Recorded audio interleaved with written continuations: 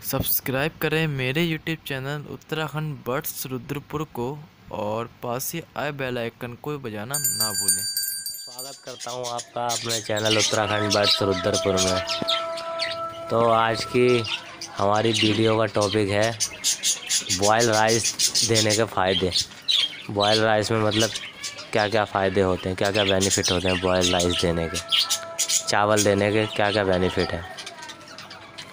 तो आप देख सकते हो मेरे बर्ड सिस्टम भूख गए, मैंने रात में दाना निकाल लिया था। तो अब मैं सुबह इन्हें प्रोवाइड करने जा रहा था चावल। तो मैंने सोचा कि एक वीडियो बना लूँ आपके साथ में, जिन भाइयों ने अगर नहीं देखी है वीडियो तो उन भाइयों के लिए है, नए लोगों के लिए। और पुराने जो हमारे भाई हैं, वो सब जानते हैं वाइल्ड राइस कैसे देना है। और जो नहीं जानते हैं, उनके लिए बना रहा हूँ वीडियो में, नए लोगों के लिए है वीडियो ये। तो इस टाइम सब ये भूखे हैं। तो मैं बताऊँगा आपको, इसके बेनिफिट बताऊँगा। चावल के क्या क्या बेनिफिट हैं इस चावल के?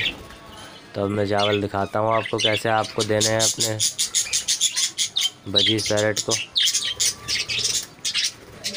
तो ये चावल रखे हुए हैं। ये रात बनाए थे चावल हमने। फ्रिज में रख दिए थे चावल ये, ख़राब ना हो।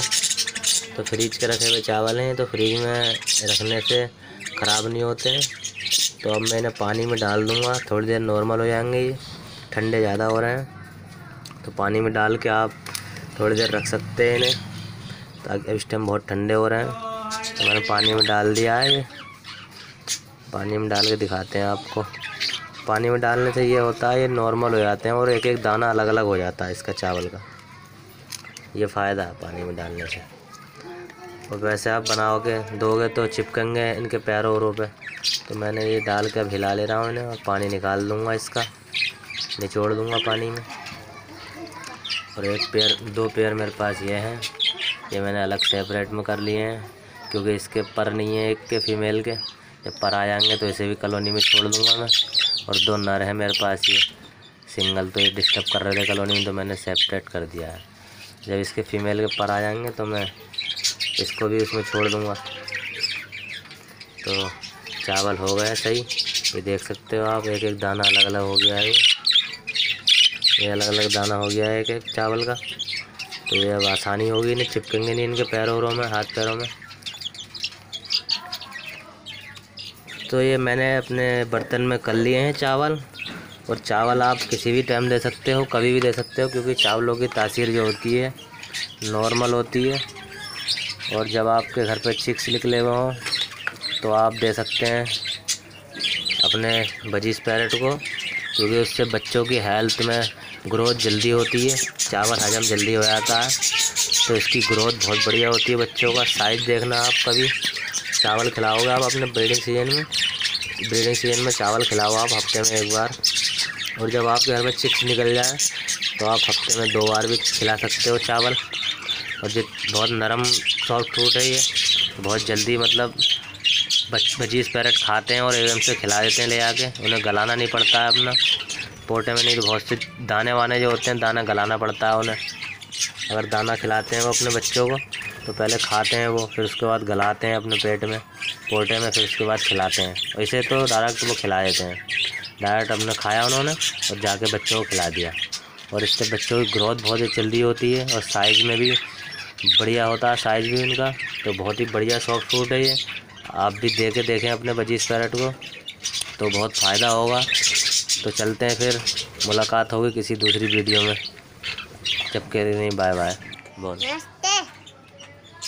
और ये मेरा लड़का है देख सकते हो आप ये मेरा बेटा है इसे भी बहुत शौक है तोते पालने का। तो सब लोगों को गुड मॉर्निंग बोल रहा है ये। बोलो गुड मॉर्निंग बोलो। गुड मॉर्निंग नमस्ते। नमस्ते। तो वीडियो को लाइक करना है। सब वीडियो को लाइक करना। शेयर करना। शेयर करना। और मेरी वीडियो कैसी लगी आपको बताना कमेंट करके।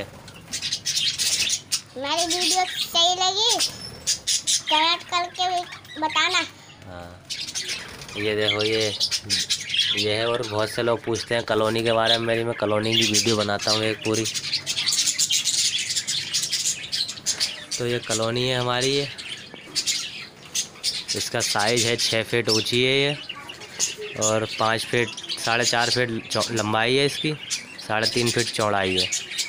देख सकते हैं आप ये मैंने अपने आप बनाई है कॉलोनी और आप भी बना सकते हैं कोई ज़्यादा बड़ी बात नहीं है बनाना। ये देखो इसका साइज़ पूरा ये नीचे से लेके ऊपर तक। तो ठीक है भाई लोगों कैसी लगी कॉलोनी बताना तो आप लोग। एक एक करके सब उतर के आने लगे हैं खाने। चावल रख दिए मैंने कॉलोनी में अपनी। तो एक एक करके सब लोग आने लगे हैं खाने। चावल। तो आप भी अपने बजीज पैरट को दे सकते हैं। वो भी बहुत शौक से खाते हैं। बजीज पैरट को बहुत अच्छी सबसे ज़्यादा सॉफ्ट फ्रूट अच्छा लगता है ये चावल। ये पिंजरे में रख रखे हैं मैंने। देखो ये भी सब खाने लगे हैं। तो कितने मज़े से खा रहे हैं ये। देख सकते हैं ये। बहुत चाव से खाते हैं ये। देखो सब खाने लगे हैं। और ये इसमें भी कॉलोनी में भी सब आने लगे हैं उतर उतर के एक एक करके खाने। तो आप दें बॉयल राइस को और बॉयल राइस खाने के फ़ायदे भी बहुत बढ़िया हैं, बहुत बेनिफिट होते हैं इसमें। और बहुत जल्दी ब्रीड पर आते हैं बॉयल राइस देने से।